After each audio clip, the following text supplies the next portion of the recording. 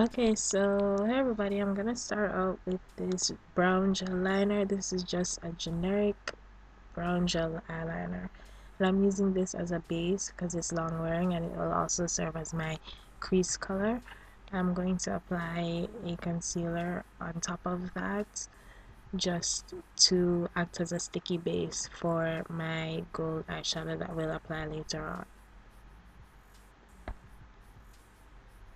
Next, moving on to my transition colors, I'm using a maroon and a burnt orange type rusty shade.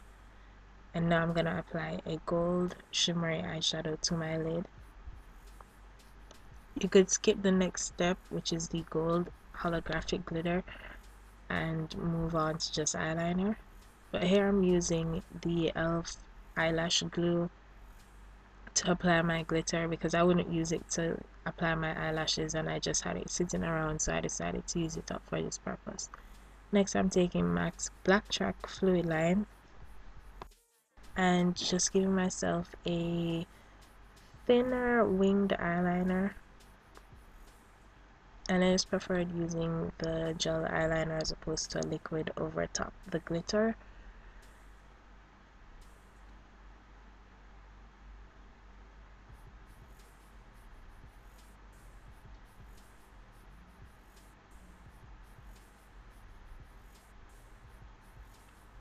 yeah this is taking a while. I decided not to speed this up too much just because I wanted you to see how I'm actually doing the eyeliner. Next I'm moving on to a metallic gunmetal shimmery eyeliner pencil on the waterline just because I didn't want a full-on black.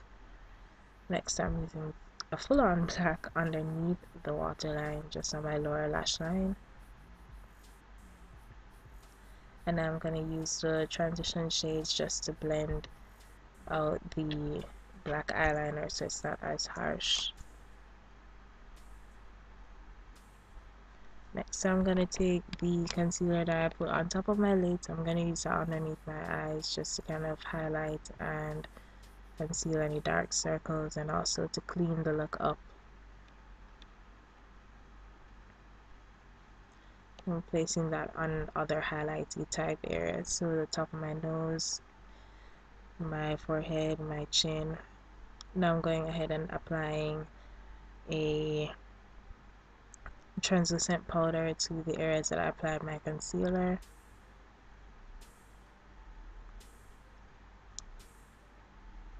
And by the way the names of the products that I'm using are on the screen. So just look out for that next I'm gonna use a powder that is my shade my correct shade and just blend out the translucent powder that I have on my face and also set the foundation that I have on.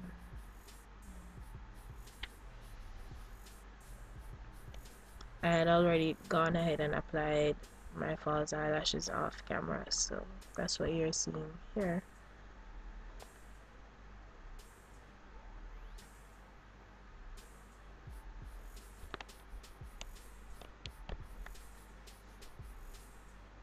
Next I'm just contouring with a dark brown eyeshadow. Nothing special.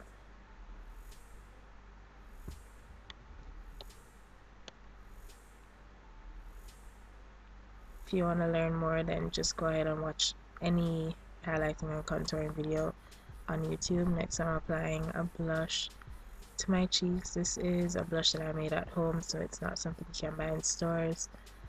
Uh, but it's just really a dusty rose shimmer shade. I'm gonna take the shimmery gold shades and put that on the top of my cheeks and on down the bridge of my nose. Just blended that out. Then I'm applying my lip balm to my lips to prep them for the lipstick application.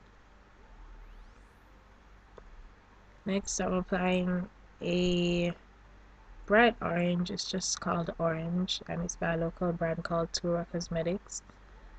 It's based in Jamaica, so you can only get it here. I'm not sure if you can get it in the States, because they don't have a website and I'm using Jordana it's orange right on top I didn't feel like going nude with the lips you could if you chose to but as you can see here I use coral and also a deep plum color called Cyber by MAC.